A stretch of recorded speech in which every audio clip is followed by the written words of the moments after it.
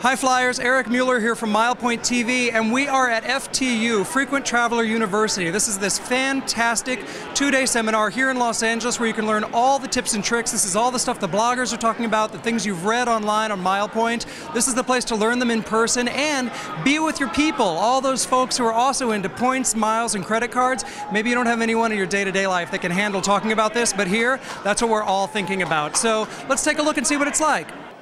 Before the main seminars, the event started with a Friday night cocktail reception hosted by MilePoint and a surprise appearance by Randy Petersen, I mean Santa Claus, who reminded us of the importance of giving back this holiday season. The whole idea of Santa is to help other people, and the goal in this room is to have everyone be their own Santa. So, if you haven't sit on my lap yet, that's really okay because I'm getting old on that one. However, what I'd like to do is for you to come and find me, and I'd like to give you this card. It allows you to donate $10 on me, Santa Claus, to any of your choice of charities from about 3 million of them. So you can help somebody with a pet rescue. You can help somebody who's a cancer survivor. You can help somebody that's uh, doing something with clean water. You can help your local school. Have a great weekend, and let's all be a Santa this year, okay? Thank you. Starting the next morning, attendees had a full schedule of sessions, including talks on credit card churning, vanilla reload cards, award booking, hotel program strategies, and much more. Here's what some folks thought. This is my first FTU, but I've been on two uh, mega do's, I've been to the Chicago seminars, and many other do events.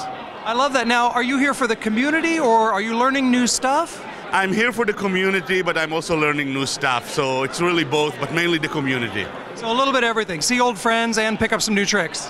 An old friend, meet new friends as well. Uh, this is my second one, and uh, I don't miss it for the world. Tell me why. What keeps bringing you back? Um, the camaraderie and then great information. I started reading BoardingArea blogs earlier this year and just got really excited about it. I love to travel. None of my friends are really into this, and they look at me like I'm crazy when I talk about it. So I figured I wanted to come here, learn some tips and tricks, and make new friends who don't look at me like I'm crazy.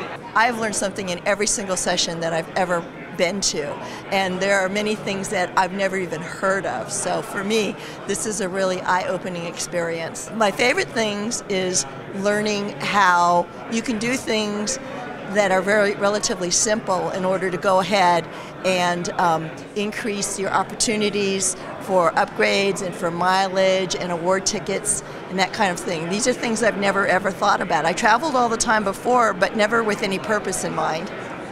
And now you have that purpose. Yes, I'm becoming obsessive compulsive about it. I've been reading the FlyerTalk and MilePoint a lot, but I think I thought maybe I should come out and meet people and learn from the uh, bloggers and sessions, and so that was the reason. Just come out and actually interact with people other than just interacting on the forums. Well, I just started with um, collecting miles, and I wanted to just find out a little bit more to help me with you know booking and things like that. My husband basically forced me to come. he forced you. He's not into points and miles, and he said that I had 30 days to make a mile friend and get some knowledge and stop talking to him or stop talking forever about oh, it. Oh no! So he he he didn't want to hear it. He wanted you to make some new friends that you could talk to this. Which I did. I, I accomplished that goal. I learned some new stuff. I'm really happy I came. I really enjoyed the session that we had this morning with the tips and tricks because that's the kind of stuff that you don't see on the blogs and you don't see on the forums and stuff. This is the secret session. Yes, the secret session this morning. It was very useful, and I recommend that people come to something like this if only for that one session. But I did learn a couple of, of neat tricks, especially mile values, um, adding one ways uh, with certain airlines I wasn't sure about, and that was really valuable. Um, but just the, the camaraderie and the networking has been the most exciting thing for me to meet other people that have, share this passion. Because I honestly thought before coming here that the community was small. Because uh, among all my friends, I'm the only person that does this, and so uh, this is this is a nice surprise. It's it's refreshing. Just going out with these guys and figuring out like, wow, I didn't know you could do that. I didn't know you had these tools, and I didn't know this is all legal. So. I came here primarily to find some success in booking award tickets, which is getting harder and harder to do. I was in the um, credit card session yesterday, and it was fantastic. And uh, I want to learn, earn more miles from credit cards. When folks were ready for a break, they could pop into the lobby for a quick chocolate pick me up, courtesy of Million Mile Secrets. My husband and I do have the Million Mile Secrets blog, and we got into this to be able to take wonderful experiences that we would never otherwise afford. So we've been able to uh, fly domestically to visit family and friends. We've also been able to take some really nice international vacations as well that would sometimes cost up to fifteen, twenty thousand dollars plus. The next Frequent Traveler University is April 26, 2013. You can go to FT University for all the details. In the meantime, I'm Eric Mueller, and I will see you there. Thanks again.